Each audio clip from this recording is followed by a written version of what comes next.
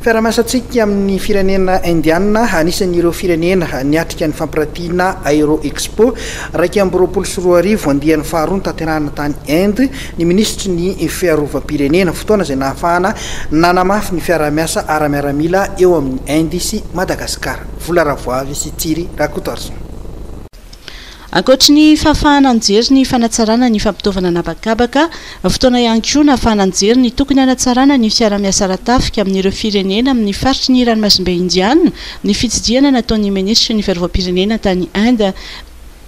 ny faritry ny ranomasimbe Indiana izay todihana ambana maro toy ny pirate an-dranomasina, ny fampihorohoroana, ny fahalotoan'ny tontolo iainana an-dranomasina, Ary amin'izao fotoana izao, nojerena manokana ihany koa nadritry ny fihaonan'ny minisitry ny Fiarovam-pirenena amin'ny ranomasimbe Indiana tany Inde ny mikasika ny raharaha ao Mozambika. Eo am-pelatanan'ny mpampihorohoro Al-Shebab ny seranan-tsambo ao Mozambika, izay roanjato kilaometatra miala ny sisintany andrefan'i Madagasikara. Daholo izany ny ankamaroan'ireo minisitry ny fiarovana amin'ireny tany ireny, ary izay tsy afaka tonga tany moa niantony samihafa dia nandray anjara tamin'ny.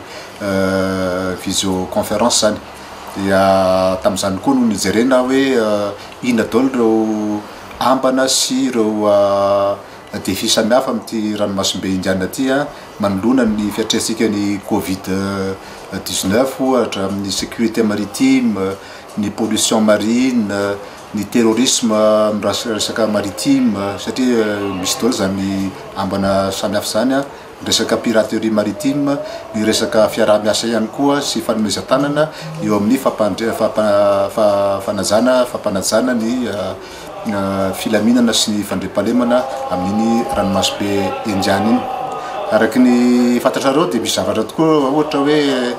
any amin'i Mozambika ohatra izay tsy dia lavitra antsika loatra dia any avaratr'i Mozambika misy port Izany hoe toby fiantsoana ny sambo anankiray izay mampisalasala ny mpijery rehetra satria lasa atahorana ho am-pelatanan'ny atao hoe Shebab na ireo Islamista izany toerana izany izay tsy dia lavitra antsika loatra ary mila mitandrina isika amin'izany lafiny izany satria ny sisin-dranomasitsika izany dia tsy maintsy ataontsika izay hiarovantsika azy. ary izay no anisan'ny niresahana manokana tamin'ny minisitry ny Fiarovam-pirenena Indiana ny delegasion malagasy nitarioko nankany, mikasika ny fomba hijerevantsika ny fanatsarana bebe kokoa ny tafika an-dranomasin'i Madagasikara. Araka izany dia hisy ny fifanoloran-tanana eo amin'ny Inde sy ny firenena ato anatin'ny faritry ny Ranomasimbe Indiana amin'ny fanamafisana ny fanarahamaso ny fari-dranomasina.